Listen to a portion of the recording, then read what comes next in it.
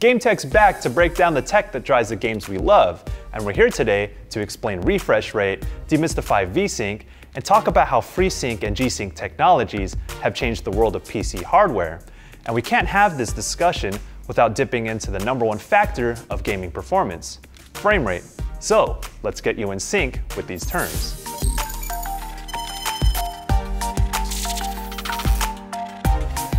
First off, refresh rate is the maximum number of times in a second that a monitor or TV draws the frame data it's being sent, measured in hertz.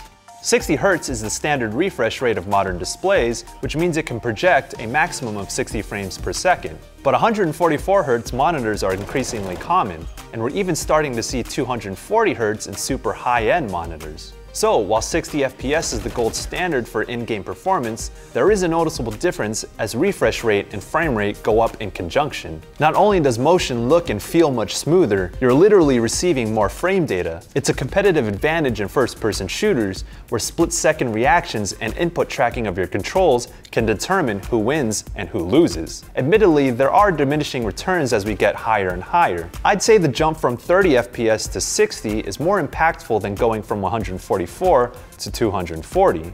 But the biggest catch with any display is that your PC must be powerful enough to produce those high frame rates for you to reap the benefits of a monitor's refresh rate. A monitor cannot show what it does not receive.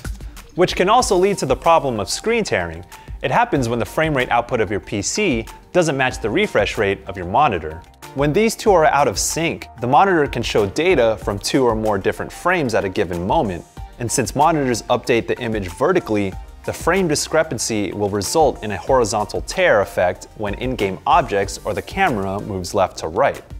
To mitigate the effects of screen tearing, you have the option of vertical synchronization, or VSync. It limits the frame output of your hardware to your monitor, but there are many drawbacks that come along with VSync, and many of us prefer to leave it off. Input lag is the number one deal breaker, and you'll feel a delay with button presses and camera movement showing up on screen when VSync is on.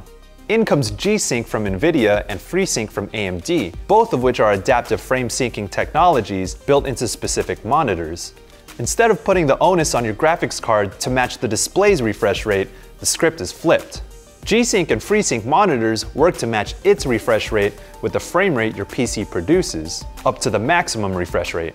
This comes without any compromises in terms of in-game performance, since monitors with these technologies have built-in processors to execute the adaptive synchronization, thus eliminating screen tearing.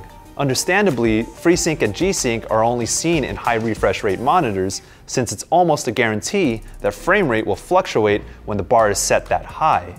But this means you'll have to shell out the dough for these premium monitors, although prices are lower than they've ever been for this tech. Another catch is that since G-Sync and FreeSync are proprietary technologies, you'll also need a video card from the corresponding brand for it to work, limiting your hardware options. That all might be a lot to take in at once, so here's a quick recap of everything we've gone over. Frame rate, the number of frames per second a game is running, depends on your PC hardware and in-game graphics settings. Refresh rate, the upper limit of how many frames per second a monitor can project. Screen tearing, a horizontal mismatch of frames when frame rate and refresh rate are out of sync, apparent when objects move left to right. VSync, an option to limit a game's frame rate to the monitor's refresh rate, but results in input lag. G-Sync and FreeSync, proprietary tech from NVIDIA and AMD built into specific monitors that makes the monitor adapt its refresh rate to a game's frame rate. There's always more nuance when it comes to these technologies, so feel free to take the discussion to the comments. We've also dug into anti-aliasing and its various methods, so do yourself a favor and check out that video. And give this video a thumbs up and subscribe to GameSpot for more game tech. Thanks for watching, and we'll see you soon.